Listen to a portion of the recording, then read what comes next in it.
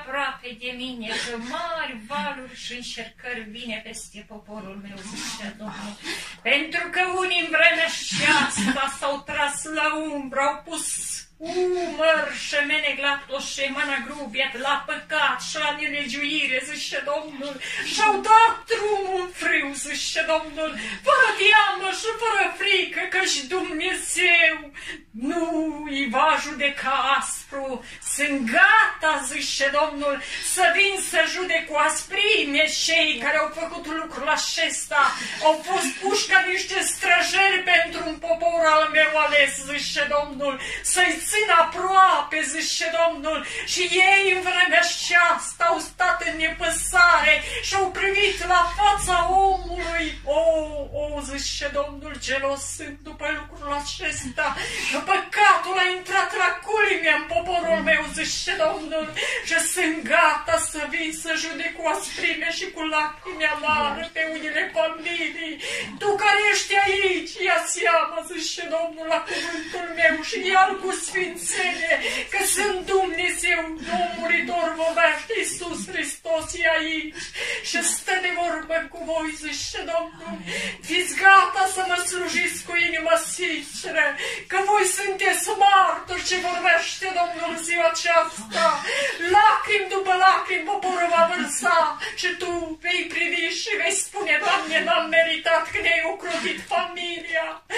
Dar pentru unii sunt gata să-i judec cu asprime și cu lacrime mare și să conducă pe ultimul drum pe cei dragi, cu atât mai mult pe cei tineri, zice Domnul, să le înainte, zice Domnul, că păcatul de curvie la culmea în vremea aceasta în poporul meu. Și de multe ori copere cei care sunt puși în fruntea mea, zice, copere, că-și vine vremea să dau pe față, zice Domnul, și apoi să vadă că și Dumnezeu e drept. I-am așteptat să întoarcă și să apropie de mine. De așa, oricare ești aici, poți verificare ești cu Domnul sau nu, zice Domnul.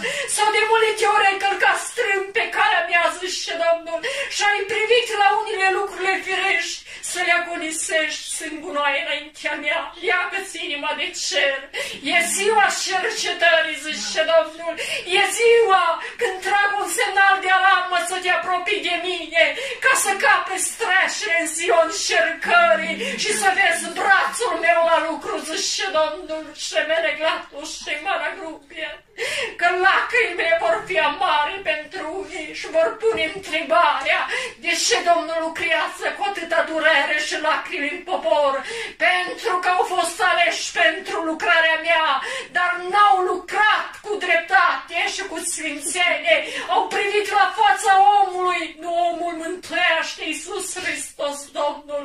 De aceea, în ziua aceasta, verificați viața oricare ești aici, zice Domnul, și strigă pe Domnul. să-ți dea iertare, unde îți dai seama că ai greșit, că astăzi capeți îndurare, zice Domnul, și capeți streașre, că Iisus nu la voie întâmplării s-a dus în locul acesta să stau de vorbe cu aleșii mei care iubesc, zice Domnul, că mulți caută în vremea aceasta să asculte cuvântul meu doar de formă, zice Domnul, cuvântul meu care vine prin Duhul Sfânt, să-l ia, să-l mute în altă parte, să audă și alții, să împrăște, zice Domnul, în loc să strângă cuvântul meu cu o sfințenie, zice Domnul, cuvântul meu este drept și sfânt, zice Domnul, nu judeca în vremea aceasta pe oricare este aici, zice Domnul, judecă pe tine și casa ta,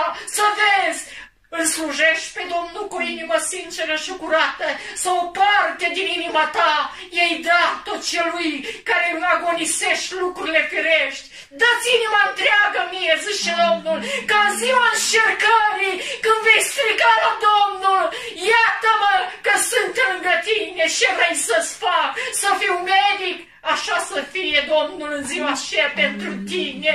De aceea strigă-mă la timp și ne la timp, zice Domnul, ca în ziua încercării, când mă vei striga, să fim gata, să vin cu un delem vindecător de oricare ești aici, ori tânăr sau vâstră, vor fi necazuri, zice Domnul, dar important să vezi izbăvirea mea și să simți mângâierea mea în ziua încercării.